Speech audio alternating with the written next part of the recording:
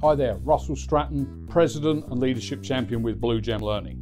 I work with organisations just like yours to help develop managers to build engagement and to improve individual and team performance.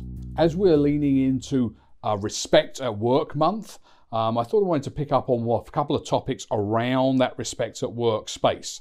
Um, the first one I wanted to look at was this concept about stereotyping, which often underpins a lot of the disrespect that perhaps we encounter in the workplace. Now, when I've run events and uh, workshops with people, I often ask how many people here ever stereotype? And often we have some people put their hand up, but a lot of people sort of say, no, no, Russ, I'd never do anything like that. You know, I am the paragon of virtue um, and would never dream of stereotyping other people.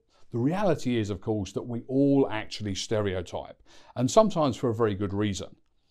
Stereotyping, well, what is it? Well, it's about assigning traits to people based upon a social category membership. So it's quite a natural thing for us to do. As we start to meet different people from different groups, we tend to try and categorize people to see um, which group they might fit into. Part of this is down to our fight and flight response. Is this somebody that I'd like to meet? Is it somebody I'd like to do business with? Or somebody that I need to stay away with?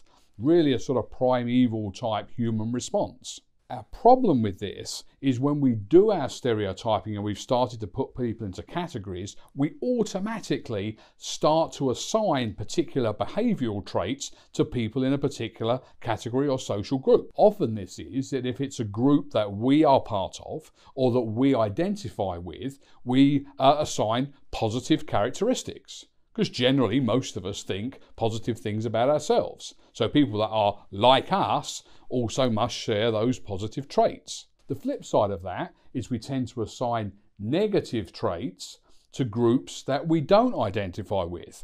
This is this concept about othering. Okay, we're great over here, but the folks over here, not so much. What that means, of course, is that now we've started to get into a place where um, we look favourably upon ourselves, but less favourably upon others. And this can be the first stage, if we don't check this, where we start to move into discrimination because we've already started to discriminate between what's good and what isn't. So, next week, I'll be talking about how our belief drives our behavior at work. In the meantime, if you'd like to get a better handle on how you can make respect at work a reality in your workplace, click on the link below for more information about our Lunch and Learn. See you next time. Hi there, thanks for watching. I hope you enjoyed that content. If you'd like more content like that, make sure you check out our videos here. And don't forget to go and log into our website, bluegemlearning.com, to find out information about our programs.